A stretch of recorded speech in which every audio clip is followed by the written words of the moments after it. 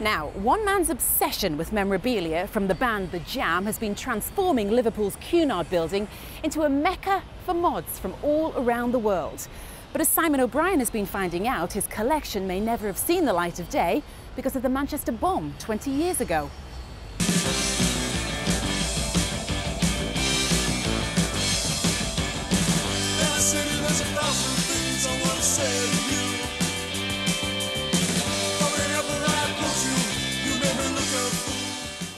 This may look like the London Underground, but I am in fact in the heart of Liverpool's city centre. That said, I am firmly down in the tube station at midnight. The distant echo of faraway voices boarding faraway trains. The Cunard building in Liverpool is currently exhibiting the biggest collection of jam memorabilia since the band split in 1982, and it's all thanks to this man. Den Davis has been a fan of the Jam all his life. He's been collecting anything Jam related since first going to see them play at the Apollo in Manchester when he was just 12. So I just love the idea of these. They look cool. I, I like the probably the the men thing about it, the aggressiveness of it and everything. It was getting rid of that wishy-washy pop that was around at that time. Two years into getting into the jam, I went to a record fair in Manchester, back at Piccadilly Records, and I found this yellow vinyl version of the Butterfly Collector from America. And I just thought, cool, and, and it, it was a bug once you did it, you know, you wanted to, to make sure you got the right ones, and then you learn about it and you understand about it, and it became a bit of a habit for a long time. But in June 96, disaster struck. Den's Jam collection was on display in a music shop in Manchester's Corn Exchange building when they were told to evacuate following a bomb warning. The police officers come running down the stairs inside the record shop and it was like, get out, there's a bomb, and no one was believing them at all. And eventually Eventually they did make us move and we came out to, to it must have been around this spot because I can clearly remember seeing the post box and what I thought was the red van. Obviously it was a red cabin and the, and the white van behind it. It was incredible that we were that close to when the first, the, the explosion went off from the, the robot we're like, oh, is that it? You know, it's like, what have we been evacuated for that for? And then the main bomb went and the blast was incredible and all the windows shattered behind us and all the birds came flying out of all the, the crevices of the building there and then everyone just started scattering. Miraculously, no one was killed by the bomb, but the damage was extensive. The Corn Exchange building where Den's collection had been on display took the full force of the blast.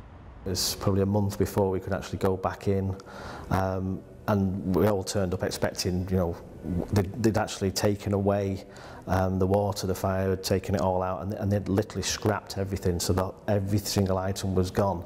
And I sulked about it for about four years. When you say sulk, kind of explain what you mean by that.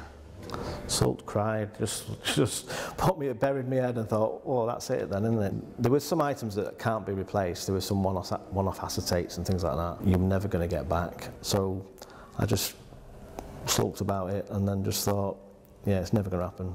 And then one day I just, I don't know, new millennium, I thought, right, give it a go. And I think a lot of people probably had New Year's resolutions that year, didn't they? You know, and mine was, I'm going to rebuild my jam collection.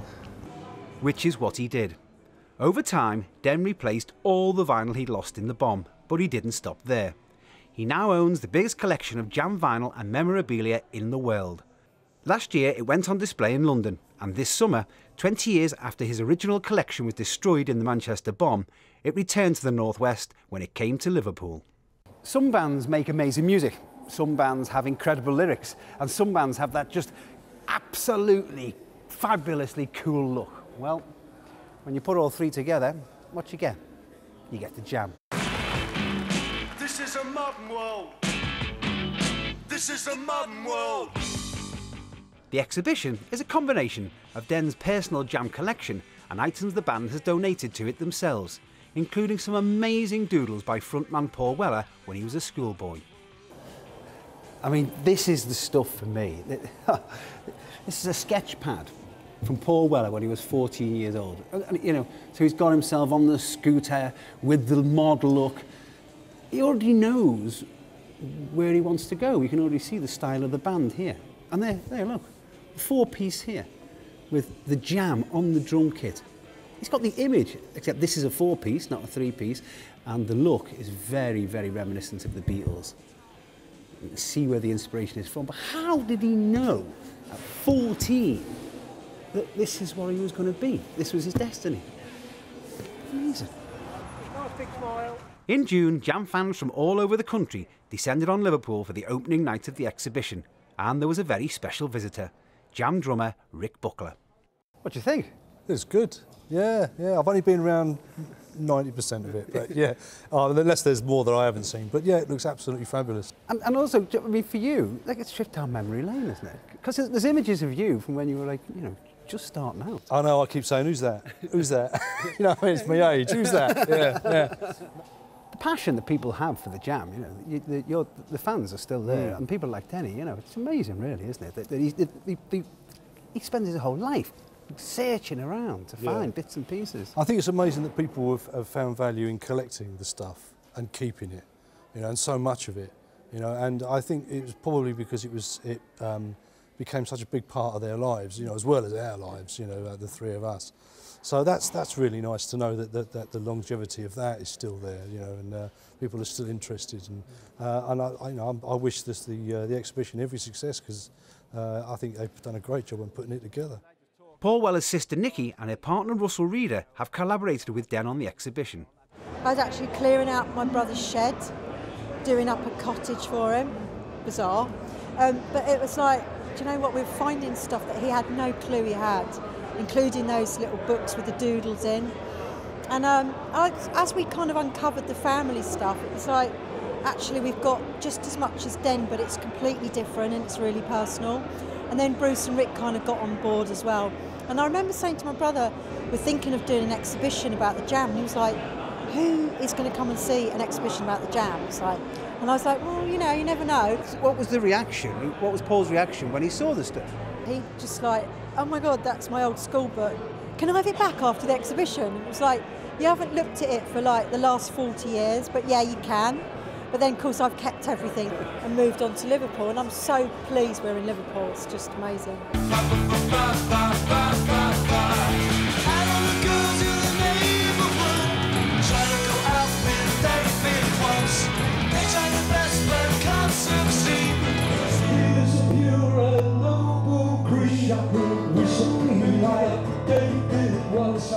And it was just like old times when Bruce Foxton visited the exhibition in August. His band, From the Jam, is still touring and performing the original songs. The demand is getting bigger. You know, from the jam, we're out on the road pretty much as, as much as we want to be. And the audiences are like from my age downwards. You know, there's young people coming, which is really healthy. They're discovering the jam for the first time. Um, and long may that, that carry on. So as long as there's a, a demand, you know, we'll, we'll be out doing it. And it is a testament to the great songs. You know, the writing and the playing from all three of us. It just worked, it gelled. You were talking about the gig a moment ago, and uh, it was a lovely crowd and really friendly and, and, and got the same affection for those jam songs as I have still. But it was really weird. I'm glancing around looking at all these young shots of me and that. Last week, Paul Weller made a flying visit to see the exhibition for himself and gave it his seal of approval. It was a proud moment for Den. 20 years on from losing his original jam collection in the Manchester bomb, Den says he could never have imagined what he's achieved.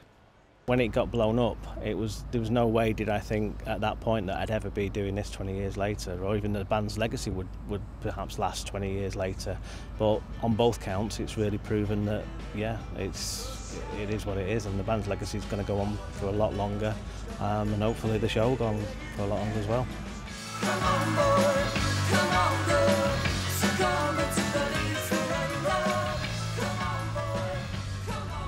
That is a real trip down memory lane, and the exhibition is on until October the 5th. We're back next Monday. See you then. Goodbye.